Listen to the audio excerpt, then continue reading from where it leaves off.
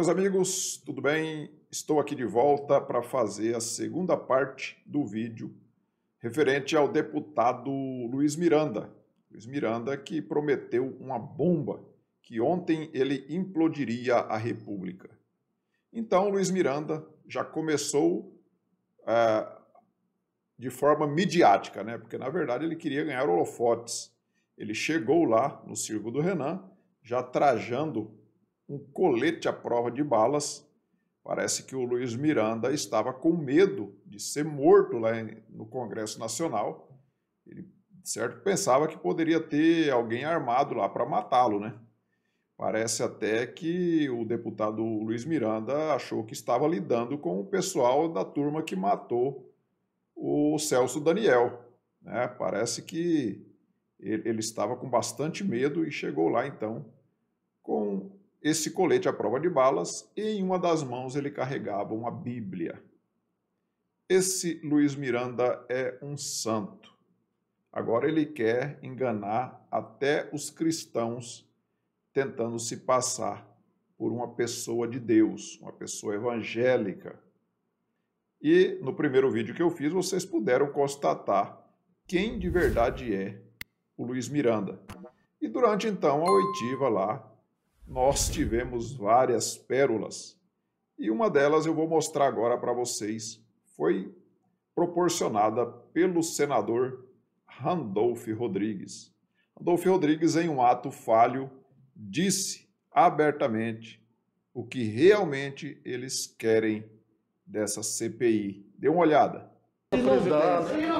Não, senador Fernando não dá para poder construir essa narrativa. Não, senador Fernando... Faça as perguntas, mas não faça afirmações. Senador Fernando vai... Bezerra, eu peço, por favor, Vossa Excelência terá todo o tempo para desconstruir tudo que o senhor achar que é narrativa.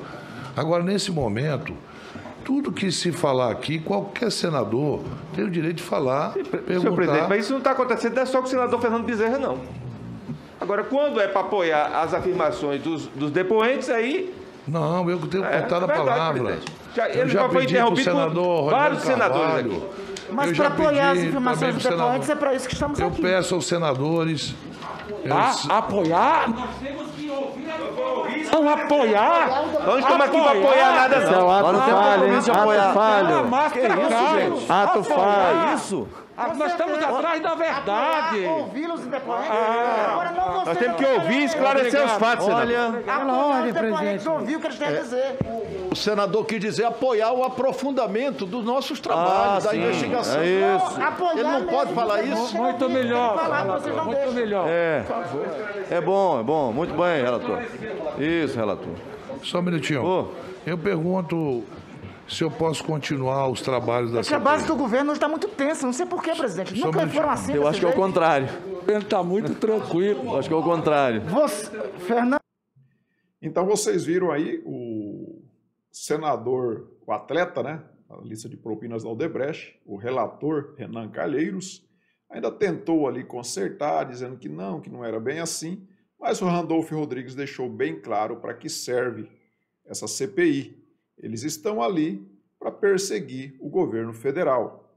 E ele deixou isso bem claro, estão ali apoiando tudo o que os depoentes que forem lá para falar mal do governo é, falarem ali. Por outro lado, aqueles que vão lá, que tentam é, falar alguma coisa que é bom para o governo, eles tentam humilhar, ou então eles fogem lá da CPI e deixam os depoentes falando sozinho, como foi o caso dos cientistas que foram lá para falar do tratamento precoce. Então, o senador, o senador Marcos Rogério foi derrubando todas as narrativas uma a uma. Chegou ao ponto em que ele disse que tinham feito ali acusações levianas e o senador Omar Aziz, percebendo que realmente se tratava de acusações levianas, tentou então jogar a culpa para o amiguinho até então, que ele estava tratando o Luiz Miranda como um amiguinho, estavam ali olhando vídeos no celular, né, estavam ali compartilhando ideias ali na CPI. E quando o senador Marcos Rogério mostrou que era tudo narrativa, mostrou, provou documentalmente que não se tratava nada mais nada menos que narrativas, o Omar Aziz já jogou a culpa no deputado Luiz Miranda. Olha só como foi o fiasco. Eu fazer que não, tá sem. Voltou o microfone. A estratégia aqui, eu já entendi a oposição. Acreditou numa denúncia sem provas, viajou do MPF da fez, Fez todas as sortes de acusações antecipadas e quando chega a oportunidade de colocar diante dos fatos, faz isso que está fazendo aqui, ó. Barulho para sustentar uma narrativa acusatória absolutamente leviana e contra o interesse público nacional. Bom, quem Eu fez essa acusação leviana não foram os senadores. Reper... Estão não, reproduzindo, Não foram os senadores. Ele tem que quem falar com a Procuradora a... da República. Quem não. fez a acusação não. leviana foi o deputado Luiz Miranda do teu partido. Que agora... Tá certo? Que agora... Se a leviana é dele, porque ele que botou isso daí. Não, que mas agora... Ele tá isso de Senhor presidente. Senhor presidente. Senhor presidente. Então, o que aconteceu, na verdade, é, nesse caso da, da vacina da Covaxin? Aconteceu que o governo federal, através do Ministério da Saúde, fez um contrato de compra de 4 milhões de doses, e aí o, a Covaxin mandou, então, um invoice, que é uma, tipo uma espécie de nota fiscal, ali constando é, algumas irregularidades ou algumas, é, ou algumas inconsistências, como, por exemplo, ao invés de estar 3 milhões de doses, estava 300 mil doses. Mas, na verdade, ali se tratava de 300 mil é, frascos com 10 doses, o que daria 3 milhões de doses da mesma forma. Mas, enfim, o Ministério, através do setor onde o irmão do Luiz Miranda trabalha, é, reclamou e eles então mandaram uma, uma segunda, uma segunda nota, né? E uma segunda invoice que eles chamam, que é uma segunda nota. E ali eles corrigiram então para 3 milhões de doses e só que eles deixaram lá o pagamento adiantado e no contrato falava que o pagamento só seria feito depois da aprovação da Anvisa. Então eles reclamaram novamente e foi mandado um terceiro invoice, uma terceira nota então sendo corrigido todos os problemas, e ali veio as 3 milhões de doses, o pagamento só após a aprovação da Anvisa, e veio também ali é, falando sobre o seguro e o frete. Então, o que acontece? No contrato eram 4 milhões de doses, então ficou essa inconsistência desse 1 milhão de doses faltando, porque o, o, o seguro, o seguro só cobria até o valor de 50 milhões de dólares e ali já atingia quase isso, já atingia quase esse valor. Então não daria para mandar as 4 milhões de uma vez. Eles mandariam então 3 milhões e o outro 1 milhão eles mandariam em outra remessa. Então fariam uma segunda nota. Então, o, o irmão do, do, do, deputado Luiz Miranda, que trabalha lá, que é funcionário lá, ele falou que tinha essas inconsistências e tal. E o Luiz Miranda, então, resolveu procurar o presidente para dizer que estava tendo um indício de corrupção. E através disso, ele usou, ele usou essa primeira nota que tinha essas inconsistências, porque depois que tinha sido corrigido, como o próprio irmão dele disse lá na CPI ontem, que não tinha mais nada de errado. Então estava tudo certo. Mas os integrantes da CPI não querem saber disso. Eles querem levar à frente como se tivesse acontecido, como disse o Renan, o, o Randolfo Rodrigues ontem, que é o maior ato de corrupção da República. Parece que o Randolfo Rodrigues estava dormindo quando teve mensalão, petrolão, quando os governos de Lula e Dilma mandaram bilhões para ditaduras. Parece que o Randolfo Rodrigues não estava aqui no país ou estava dormindo para dizer que isso é o maior escândalo de corrupção da República, sendo que não teve nem um real de pagamento, o governo não pagou nem um real, nem recebeu esse produto ainda, e como que pode ter havido algum ato de corrupção. Então, eu vou deixar para vocês aí é, alguns trechos onde o, o, senador Marcos Rogério ele mostra, tintim por tintim, ele mostra claramente para os integrantes da CPI o, os fatos, os fatos do que aconteceu ali e que nada de errado teve. Senhor presidente, senhoras e senhores senadores, é, eu inicio dizendo, senhor presidente, que estou impressionado com os motivos das suspeitas de irregularidades, é, os servidores do Ministério da Saúde estarem preocupados com a compra de vacinas, fazendo comunicações sexta-feira à noite, sábado, domingo. Até poucos dias atrás, cobrava-se agilidade. Agora, se valoriza como suspeita a troca de contatos em um final de semana para a compra de vacinas. Os mesmos que até agora há pouco cobravam celeridade, agora estão questionando os funcionários do Ministério da, da Saúde por trabalhar até mais tarde, de serem cobrados. Tivemos que viver para ver e ouvir isso nessa CPI. Teve gente que chegou aqui e disse que se fosse preciso passar por constrangimento para ter vacina, passava. Outros gritaram aqui para todo mundo ouvir. Qual o preço da vida? Quanto vale uma vida?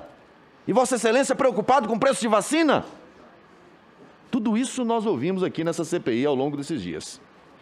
Não vou mostrar o vídeo de quem fez isso, não. Não quero constranger colegas. Quero iniciar dizendo também que defendo desde logo que o Ministério da Saúde audite esses processos sem nenhum prejuízo de apurações no âmbito da CGU, do TCU, da Polícia Federal e do Ministério Público Federal. Queremos apuração de tudo, embora, pelo que vi, estamos diante de uma flagrante denúncia vazia, que fez circular a informação de superfaturamento de mil por cento na compra dessa vacina. Senador Marcos Duval, é a maior fake news da história da pandemia no Brasil de 2021. Estamos diante da maior fake news. Esta CPI deveria apurar esse fato também. Os mobilizadores, multiplicadores que espalharam isso. Porque desestimula a compra a seriedade de servidores. Mas passo aqui a indagar. No dia 18 de março, o senhor Luiz Ricardo Fernandes Miranda recebeu um e-mail com diversos documentos, dentre os quais constava a invoice, em bom português, fatura, nota fiscal. Dia 18 foi uma quinta-feira. Passada a sexta-feira, outro dia útil, no dia 20 de março, um sábado, o senhor foi ao presidente da República e reportou a fraude. Entre esses documentos tinha algum documento público, um típico ato administrativo? Senhor Luiz Ricardo. Foi a questão da invoice, o contrato foi assinado, se eu não me engano, em fevereiro, né?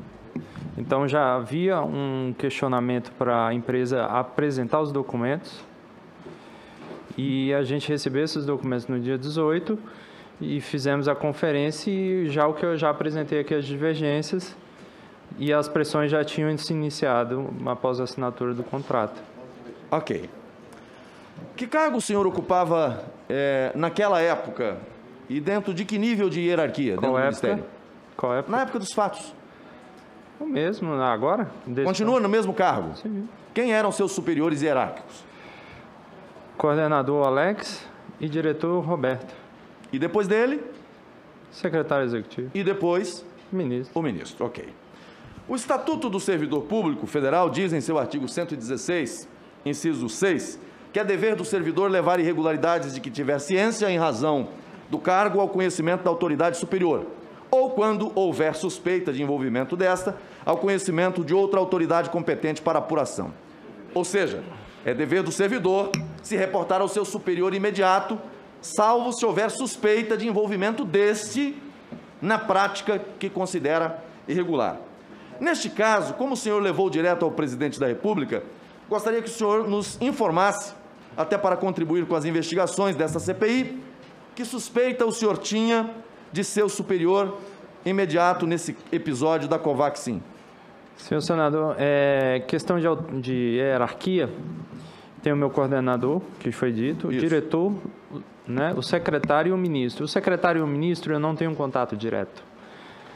Então, um superior do ministro seria o presidente. É, é, então, assim, eu procurei meu irmão para apresentar o, o que foi verificado das invoices e a cobrança, que foi acionado o presidente para verificar supostas atos ilícitos, para verificar. Vossa Excelência, então, não falou com nenhum superior hierárquico? Procurou o irmão... O maior, o maior, é o que eu citei aqui, exatamente. Não, não, não. Até parece... Pela até, ré... até parece... Estão, estão, menos. estão dando risada aqui na CPI, até parece que os senadores desconhecem a Constituição Federal e a lei penal brasileira. Vocês estão sendo cúmplices aqui de um crime funcional. Depois, vão lá defender o servidor, o 325 do Código Penal. Mas ele estava okay. recebendo a pressão do chefe imediato dele. Vossa Excelência está ameaçando o não, servidor? Não, senhor Não, não, Vossa Excelência não tem que citar código para poder por, Vossa Excelência testemunha. não vai determinar por favor. posso ou não citar para é isso, isso. Não, vai sim, porque, não, porque também não, é crime. Tá, ele era pressionado pelo chefe imediato dele, testemunha é crime. De Como novo, ele ia denunciar se o chefe imediato dele que estava fazendo... Não, não, Presidente. o chefe imediato dele era paniguado nomeado pelo governo. Ele é concursado. Ele tem muito mais fé pública do que está lá presidente. bajulando o presidente. Só para esclarecer, senhor presidente, só para esclarecer, senhor presidente, esse senhor está nesse cargo por conta de quem? O senhor fez essa indicação do seu irmão? Boa pergunta, senador. Meu irmão, ele está no cargo desde 2016. Eu fui eleito no final de 2018. Meu irmão está lá em excelência, mesmo com as acusações feitas ao MP, que já era de conhecimento do Ministério da Saúde, não consegue tirar de, ele de lá. Porque se tirar hoje ele de lá, não entra mais vacina nesse país. Palavras do chefe dele, porque é o único que consegue se embaraçar com a aeronave no ar. Escutei inclusive do delegado da Receita Federal, parabenizando ele, dizendo que sem ele nós não teríamos vacina na velocidade que está chegando.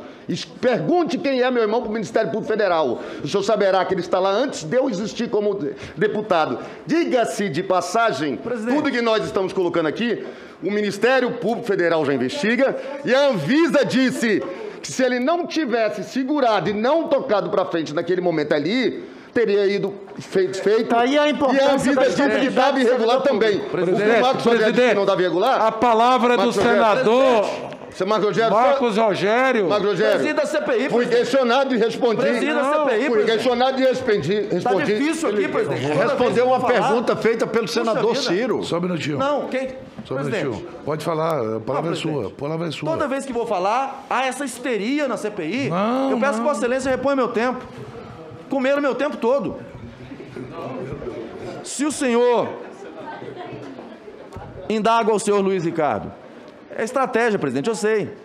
Eu sei. Não é não, não é não, senador. Eu sei, presidente. Se o senhor tinha suspeita do seu superior imediato, tinha também dos demais superiores? Não. Tinha, tinha suspeita em relação ao seu superior? Não, porque eu não tinha contato e nem pressão deles.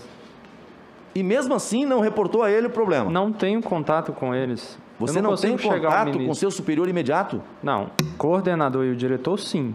Ué, mas o coordenador é seu superior imediato. Mas é o que me mandava mas era mensagem. Mas dando pressão, senador. Você tem suspeita em relação a ele? Parece que ele não está na CPI, de prática senador de conduta ilícita? Eu acho que ele estava fora e não acompanhou o depoimento. Ô, presidente, eu, eu vou pedir a Vossa Excelência que bota ordem no... Mas olha, eu, eu até entendo que nós estamos aqui entre adultos.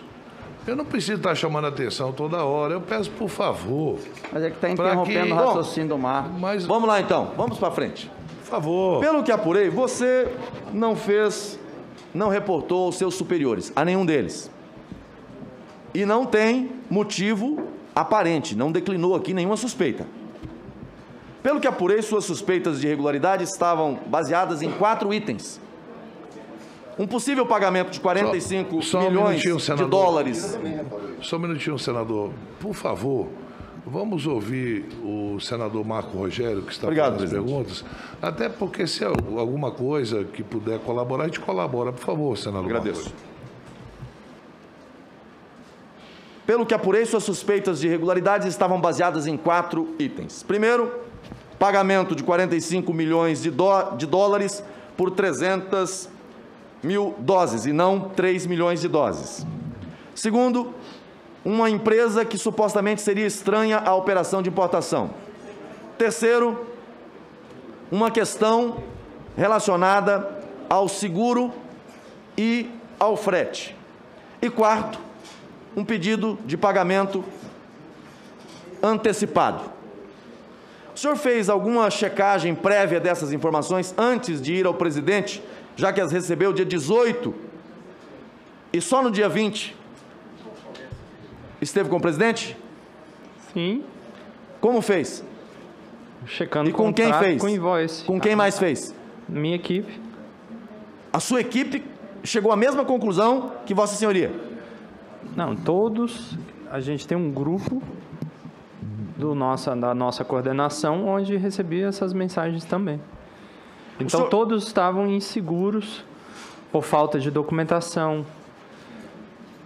O senhor, como técnico, só, tinha só o dever de fazer uma checagem minuciosa dos documentos antes de apelar para a denúncia tão grave e diretamente ao presidente da República. E aí, como o senhor não fez seu dever e terminou criando todo um clima de denuncismo, vou apresentar aqui a verdade dos fatos contidos no processo. Na primeira fatura, o relator está incomodado, senhor presidente, com o meu tempo. Poxa, presidente, a quantia de 300 mil. Se, cadê? Eu peço que o pessoal coloque no painel para todo mundo ver. Na primeira fatura, a quantia de 300 mil se referia ao número de frascos de 5 ml, ou seja, as 10 doses de meio ml estão na nota. E aí disseram: não, está pagando 45 milhões de dólares por 300 mil doses. Isso foi espalhado aqui, inclusive por colegas. Olha lá. Ele falou que o contrato 300 é em doses. mil, falou que 5 era em doses. ml ao preço unitário de 150 dólares por, por 10 doses. Portanto, nenhuma irregularidade, apenas um erro formal, de acordo com o contrato, é verdade. Vamos à frente o senhor interpretou o documento de forma equivocada ou com má fé, porque não é isso não. que se espera de um expediente, porque denunciou que havia superfaturamento. Precisa, precisa deixar a denúncia, claro. Não, não. Não, presidente, eu tô Precisa eu tô... deixar claro para a Anvisa não. a unidade de doses. Não, com relação. Vamos à frente. Vamos à frente então. Ali é o primeiro documento. Quem é que informa sobre esse documento para a empresa que foi com essas imprecisões. Pagamento adiantado, a quantidade de doses apenas num volume maior, sem a especificação das 3 milhões de doses. Quem reporta a, as falhas na invoice, Isso. os erros? É o Ministério. Não, não. Quem exatamente? Do seu departamento? Sim, encaminha para a empresa para correção. O seu departamento? Sim. Ok. E quando reporta a empresa, o que, que acontece? Coloca o segundo slide. Normalmente ela corrige. Vamos lá então, vamos botar o segundo slide.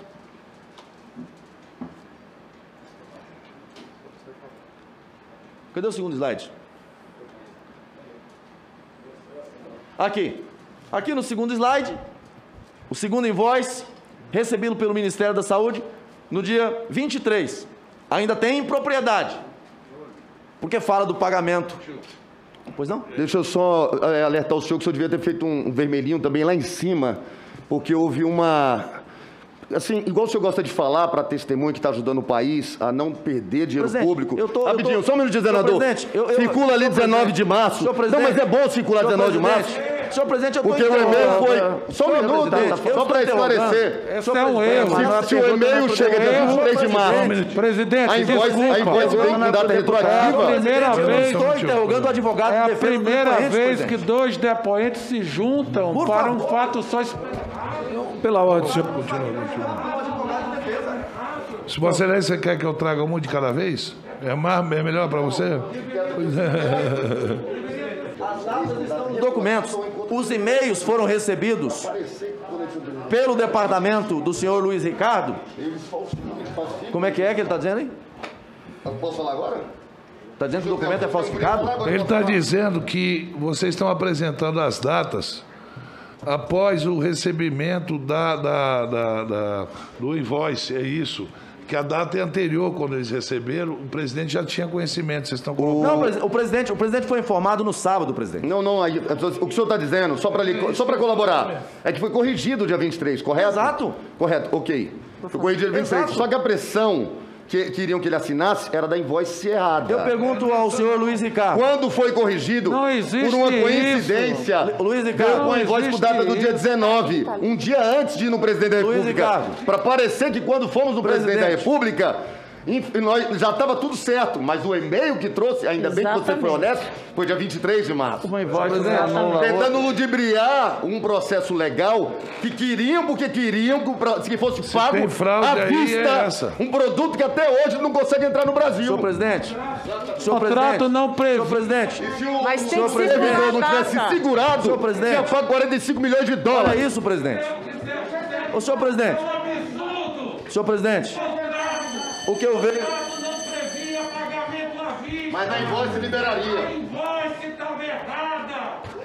Fraude. A invoice é feita por. Agora é errado, poderia ser considerado como fraude. Como? Mas como? Não tem perigo disso. Presidente. Tem que passar pelo rapaz do Ministério da Saúde. Está se tentando aqui mostrar uma narrativa.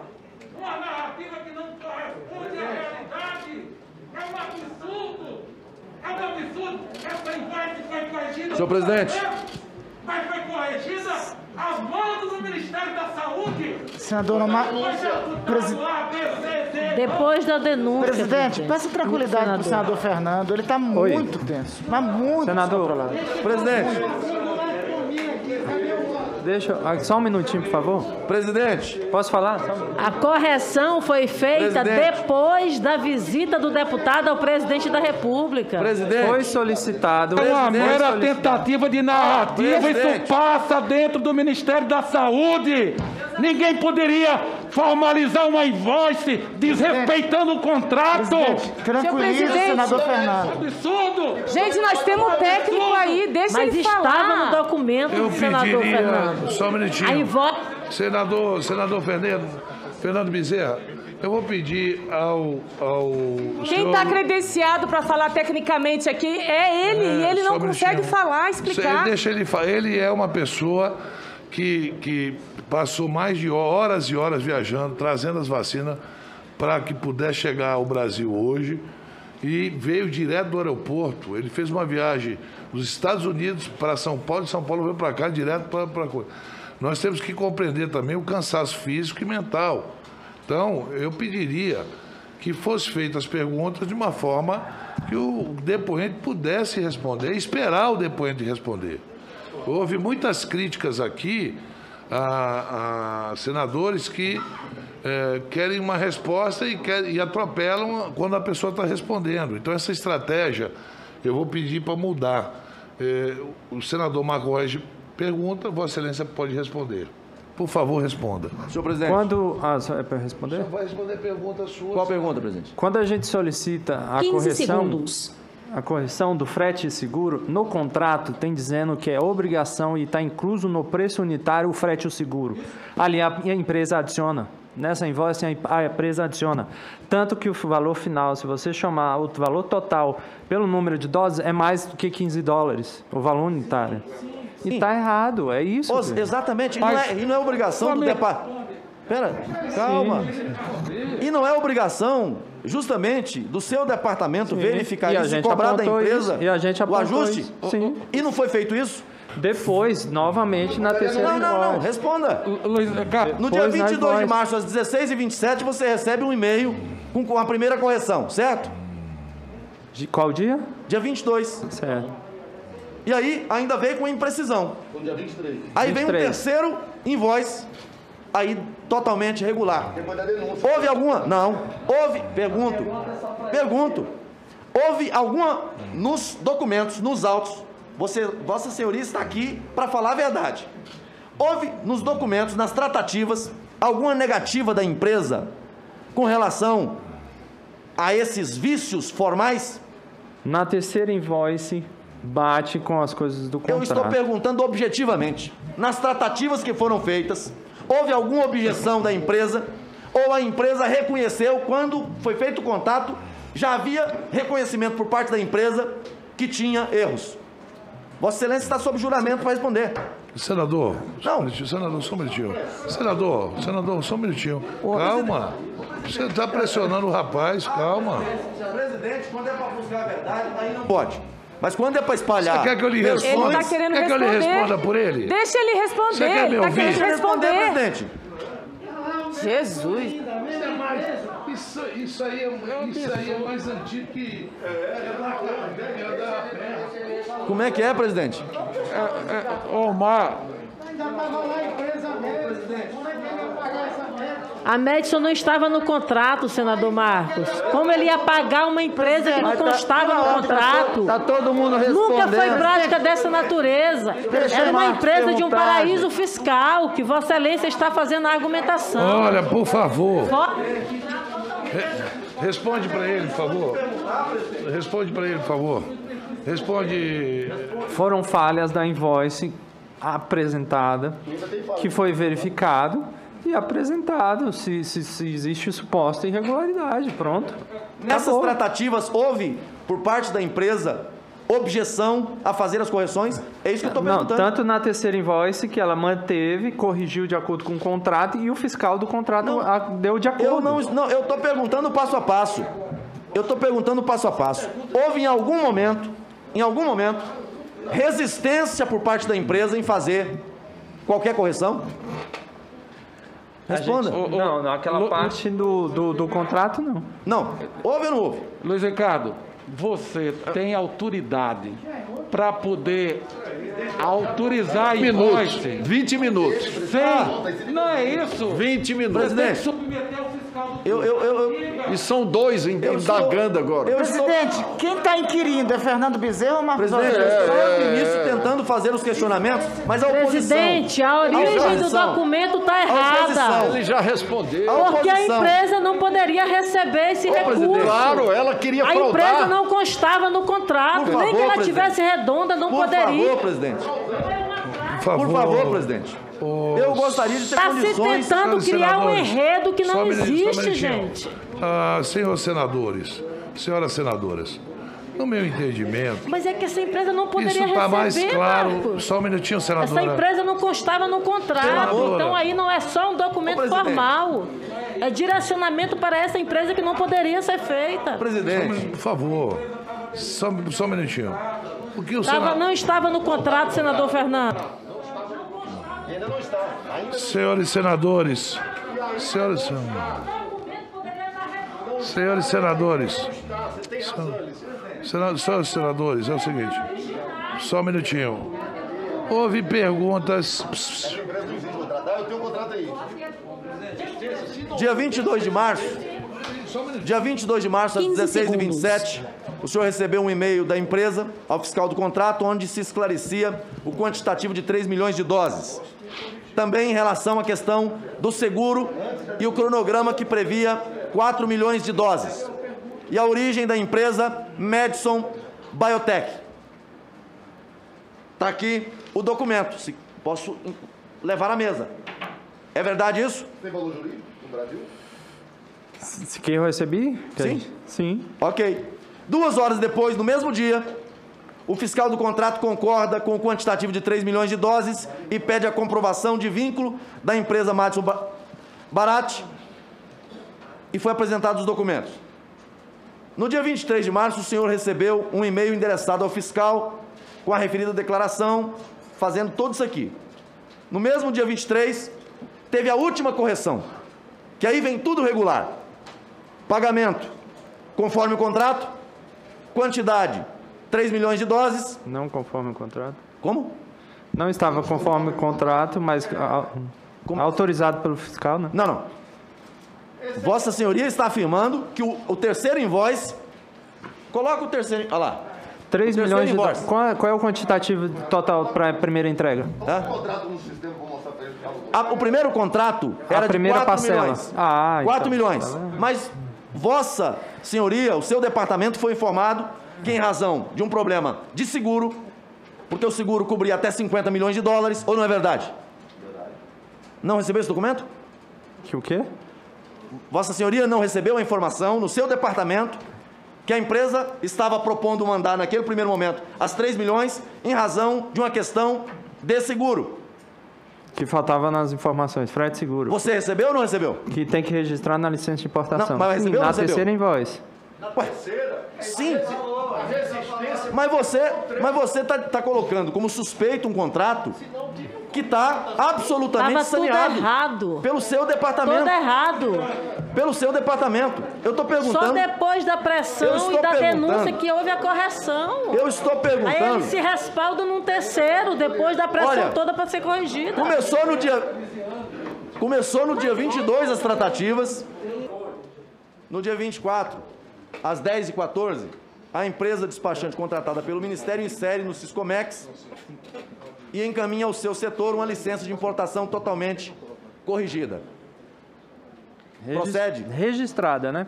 A licença de importação registrada. Registrada. O que é corrigido é a invoice. Diante disso, eu pergunto a Vossa Senhoria: o senhor não teve conhecimento desses atos praticados no processo, dessas retificações, ao longo desses dois dias?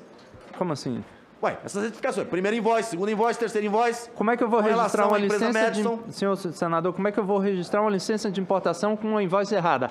Não, não, vossa, vossa, vossa ele tá senhoria. perguntando pelas não, eu estou perguntando, eu estou Ele perguntando. teve, ele teve. O presidente. Está mais perdido do que segue Vou pedir a Vossa. Excelência que de repente Só um o minutinho, deputado da sala. por favor. Eu saí? Não. Para permitir o interrogatório. Não, por favor. Ele não pode é interromper. uma inquisição, não um interrogatório. Não, presidente. Você está fazendo inquisição. Peraí, só um minutinho, só um minutinho, por favor. Por favor. Ele está respeitando. Ele tá... Ô, presidente, quem é o presidente dessa comissão? É o senhor ou é o deputado? Só um minutinho. Eu, um. Não, por- favor. Se não, só um minutinho. Ele está respondendo, acabou de responder para o deputado, para o senador. O senador fez uma pergunta e disse que você não podia a- a- a- autorizar a licença sem correção da, da invoice. Foi Mas estavam todos corrigidos. Hã? Mas estavam todos corrigidos. Presidente, Continue falando. Na Ó, terceira invoice. meu tempo. Depois da continua correndo, denúncia. Na segunda, só na terceira invoice. com os invoices corrigidos. Vossa Senhoria teve conhecimento da correção dos invoices. Do dia 22 e do dia 23. Na terceira. De todos eles. Sim. Do dia 22 e do dia 23. Sim. Teve conhecimento ou não? Sim. Ele está E mostrando ignorou aqui que essas teve. correções? Por quê? Pô, deixa ele responder, deixa eu só. Não ignorei, tanto não ignoramos que foi uma autorização do fiscal a respeito de estar divergente do contrato quantitativo de 3 milhões em vez de 4, e a empresa, Madison, em vez de dar a Bariotec ou a Precisa, foi é, autorizado pelo fiscal do contrato e corrigido a invoice, e aí sim, com a correção de acordo com o contrato, encaminhamos para o registro da LI, que foi no dia 24. O senhor considera que essas retificações também são consideradas fraudes? Já que mantém a versão da primeira. Fraude o quê? Não está de acordo com o contrato? Não, mas essas correções, eu estou perguntando se você, Vossa Senhoria considera essas correções fraude. Se não está de acordo com o contrato, aí que seria fraude. Sim, mas se elas foram corrigidas, Mas o contrato problema foi persiste? Não, eu, ou não. O O contrato... contrato não foi corrigido, senador. Como é que pode. Ele está dizendo o que contrato, é maior do que a o invoice. problema, o problema não é o contrato, presidente. O problema Lógico que é o contrato.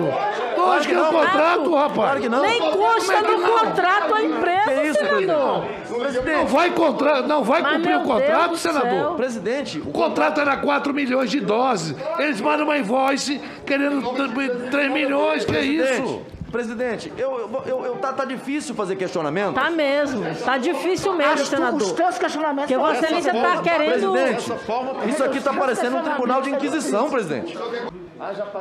É, presidente. É, realmente. Eu esperava de Vossa Excelência um pouco mais de consideração, presidente. Eu estou Não, presidente. necessário, Vossa Excelência não quer Não, terminar. Vossa Excelência está fazendo comentário em relação ao contrato. Vossa Excelência leu o contrato, presidente? Eu li, presidente. Tá aqui o contrato. Eu li o presidente. Eu li o contrato, li os invoices. Agora, essa CPI está diante de uma fraude de uma narrativa, tá? De uma fraude. E eu lamento muito pelo meu colega. E o deputado Luiz Miranda, a todo momento, dizia que tinha um deputado ligado ao presidente Jair Bolsonaro que estava envolvido nesses atos de corrupção. Só que ele disse que não se lembrava o nome. Já no final, Já no final do depoimento, ele disse que se tratava do deputado Ricardo Barros, que o deputado Ricardo Barros estava envolvido nesses atos de corrupção e que o presidente teria reclamado do deputado Ricardo Barros, dizendo que ele estava envolvido nesse esquema. Ou seja, o maior esquema de corrupção do governo Bolsonaro é um esquema onde nada foi comprado, nada foi pago, que tem um contrato que está conforme todas as exigências, mas para a oposição e principalmente para o circo do Renan, nós estamos diante de um escândalo de corrupção. Então, meus amigos, era isso. Peço a vocês que se inscrevam no canal, curta, compartilhe e nós nos vemos então num próximo vídeo. Fiquem todos com Deus. Tchau.